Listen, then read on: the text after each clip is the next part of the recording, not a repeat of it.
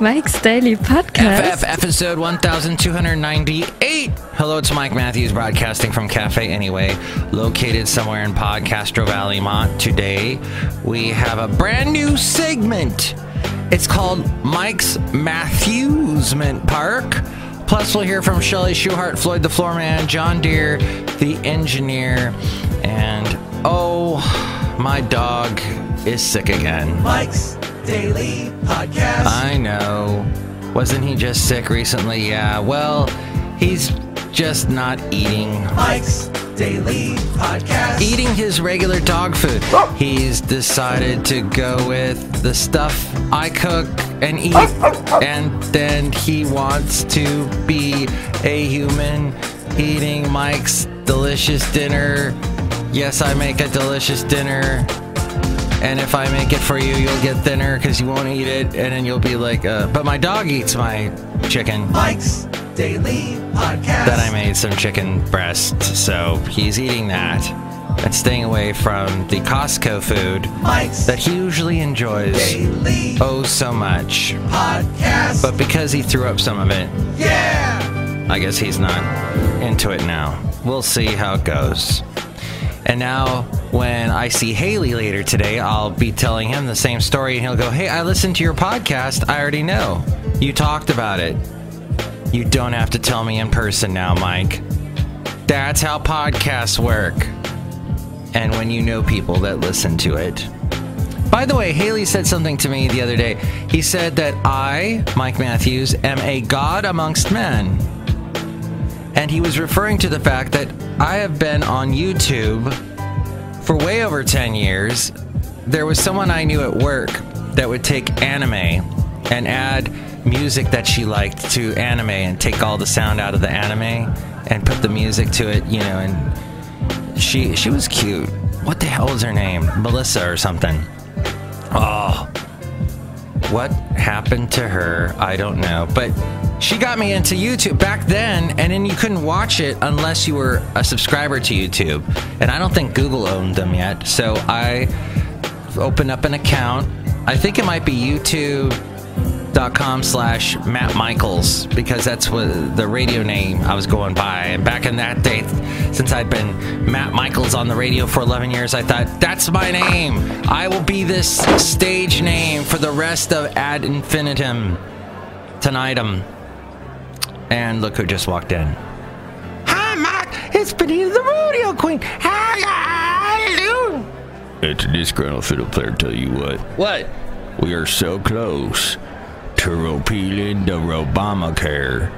And the damn Republicans that love the Trump, they want to put something else in its place that's the same as Obamacare. I wanna- You're very mad, disgruntled fiddle player. Yeah, yeah, I'm sorry. Mike, he's been talking about this all weekend. He won't shut up. Oh. And someone walked in with you guys as well. Hello, Matthews. It's Shoehart, Gift Shop Supervisor. I was hanging out with uh, Benita, the disgruntled fiddle player, and all the other characters that have the in their name. They have an article. A fine article. Actually, that was the last show. We had the segment, a fine article. Look what's on, look also out this is John Deer, the engineer. Yes, Mike, we also got a ride with Benita and the disgruntled fiddle player. It was a lot of fun. Mike, it was like the total party bus coming here to cafe anyway. Unfortunately, we had to listen to the disgruntled fiddle player talk on and on uh, ad infini- infinitum about uh, Trump care. Yeah, Mike, you wouldn't shut up. Listen, y'all. It's gonna tear this country apart. That and Thad. Who's Thad? Mike Matthews, Dad, T H A A D. It stands for the Terminal High Altitude and Stuff Defense System. Um, Chely, I don't think that's exactly what the name is. I'm John Deer, the engineer. Mm. Well, all these characters here today, it might be a little bit confusing for the listener, especially the new listener. If we have a new listener listening today, thank you for listening. We're at Cafe anyway. Yes, that. So I didn't realize this.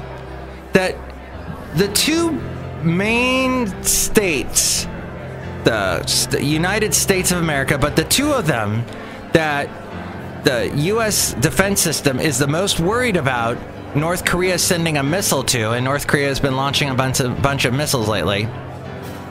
Luckily, not hitting anybody with them, but saying, hey, look at us, look at our, we're flexing our muscle, military muscle. And they, th- apparently, the two states in America that are being the most defended for this are Alaska and California.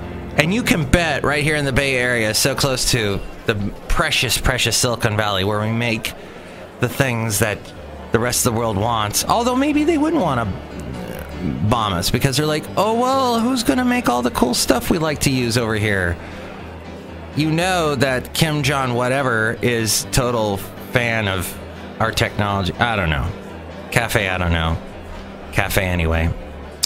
But at any rate, that's what we were thinking about, wasn't it, everyone? Yeah, Mark, that's it. Anyway, Cafe anyway. anyway, Who is that guy anyway? That actually is Chely Shoehart's new boyfriend, Bob. Yeah, that's my boyfriend, Bob. anyway, Hi, Bob. And here's today's podcast picture. At Cafe Anyway. anyway. Oh, by the way, that voice, uh, Ariel, she recently posted on her Instagram a picture of her and her husband at the Parthenon in Nashville. The Parthenon, it uh, it looks just like the one in Greece, and it was built way back, like in the 20s, as part of a World Fair type thing. And you can go in there, and there's a little exhibit about the World Fair and Exposition or Expo, whatever the heck. You know, we used to have we used to have those all the time. They were like these beautiful turn of the century festivals and conventions, and the Edison would put his new light bulb in there, and people would be walking around under this beautiful new light bulb light all about and listening to music, you know, hello my baby, hello my honey, hello my type and then the guy that would later become Captain America was walking around with his good friend that would later become the Winter Soldier and they were dating the girl from Doctor Who. Oh yeah, go see the movie again. You'll know what I'm talking about. I'm talking about the first Captain America. I, I like the Captain America movies. Chris Evans does a good job. Lots of action, but my point being, part the Parthenon is in Nashville, and it, it's beautiful in this beautiful park. All this grass, walk around, lay down in the grass, look at the sun, sweat like a pig because it's humid in Nashville. And then you go inside the Parthenon, it's all air conditioned and wonderful. And somewhere, I think on the third floor, there's this massive golden statue of Athena, the goddess Athena. In Bible Belt, Tennessee, they got a massive pagan statue, a Greek statue, a Greek Greek statue. Hey, that would be the statue for Athena, and you can see that at the Parthenon. But I don't have a picture of that today. I have a picture of something much more important, and that is the Bay. In the Bay Area, we have this wonderful thing called the Bay. You may have heard of. And the picture actually is of, of a beautiful day. I think this was last year. And the cloud it was a little bit cloudy. This is at Heron Bay in Hayward, San Leandro, that particular area.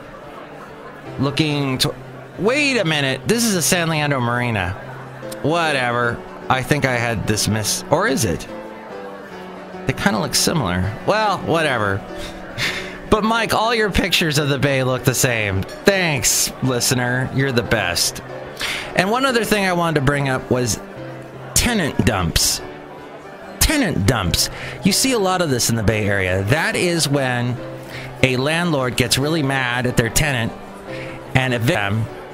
I think they've, you know, given them an eviction notice, and then all of a sudden one day, up, oh, they didn't pay up, so now since they haven't moved out voluntarily, we throw everything out and they take everything out of the out of, out of the house, out of the rental, and put it on the sidewalk, or actually they put it on the curb in between the street and the sidewalk, and you've got like mattresses, bed box springs, um, sometimes refrigerators, clothes, just crap, all the kids' stuff. Because if they have a bunch of kids, all that crappy, brightly colored plastic toys and whatnot are all outside. The big plastic stuff that you see a lot of the parents leave in the front yards sometimes in your white trashier areas. And that's all there. Ah. I love just passing by. I see that all the time in the Bay Area. So, and then the the the, the former tenants don't care because maybe they're in a bad, mad, well, they're in a bad way, in a mad rush trying to find another place to live. So they they don't care and they just leave it there. I don't have a picture of that, thank God, on the podcast picture. But I do have a new segment. We're going to get to that in just a moment. Uh, help out the show at mikesdailypodcast.com. Oh, and by the way, happy Holly. It's uh, Huli. Hu- Huli. L- how you say it? Okay. I, you know, the, the, uh, what do you call it? The pronunciation scheme, the uh, way of saying words that Wikipedia tries to teach you phonetically how to say certain words not the best it doesn't it's it ex- expects you to know what certain i don't know their system maybe that's the universal system of fanatics, i don't know but it is a hindu hol- holy huli that's what it is is a Hindu spring festival celebrated in India and Nepal, also known as the Festival of Colors or the Festival of Love. In fact, at the fairgrounds in Alameda on Saturday, they had a run, a Holi run, and everybody was dressed in bright colors. So that's what's going on. Um, it signifies the victory of good over evil, the arrival of spring, end of winter, and for many, a festive day to meet others. To meet others. Ooh. Maybe meet a nice lady. Play and laugh, forget and forgive, and repair broken relationships. It is also celebrated as a Thanksgiving for a good harvest. That's awesome! And we got a full moon coming up here, and that's it lasts for two days, starting on the Pu- Purnima full moon day, and that is there. So you know we are here in Fremont, actually, technically, and we have a huge uh, population from India so I'm sure there'll be some celebrations today here. But the podcast website is mikesdailypodcast.com. It's kind of colorful. And if you're going to buy anything on Amazon, click on that Amazon link at mikesdailypodcast.com. And that helps us out tremendously. It says shop, connect, and enjoy. Click on that and buy whatever it is you're going to buy, and that helps us out. There's also a link to the PayPal. You can help out that way and become a specialized Oh, you'll get a specialized, personalized MP3 for thee from all the Cafe Anyway characters. And there's the past podcast pictures and past interviews, too. And now, a brand new segment that is called. Whoa! Mike's Matthewsment Park. Park. Park. Park. Front panel will close automatically. Please remain seated at all times. Let's take a ride together in the world of news. First off, two critically ill in San Francisco after consuming T-Bot from Sun Wing Wo Trading Company. The San Francisco Department of Health announced this on Saturday on its official Twitter account. The department also warned that those who have already bought tea leaves from Chinatown herbalists should refrain from consuming it. It contains aconite, a plant based toxin. The presence of toxin was confirmed with the help of lab tests on the patients as well as on the tea samples provided by them. The two people uh, became ill in separate incidents in February and March. Their symptoms appeared within an hour of consumption. The toxin caused life threatening abnormal heart rhythms, and the patients required resuscitation as well as intensive holiday, uh, ho- hospital care. The link to the herbalist on Grant Avenue in Chinatown came to light after both cases were referred to the San Francisco General Hospital's California Poison Control System. The World Wide Web Tim, uh, the the in, the inventor of it, Tim Berners Lee, wants to save it. The computer scientist who wrote the blueprint for what would become the World Wide Web 20 years ago, today is alarmed at what has happened to it over the past year. It has become increasingly worried. Oh, I've become increasingly worried about three new trends, which I believe we must tackle in order for the web to fulfill its true potential as a tool which serves all of humanity, he said.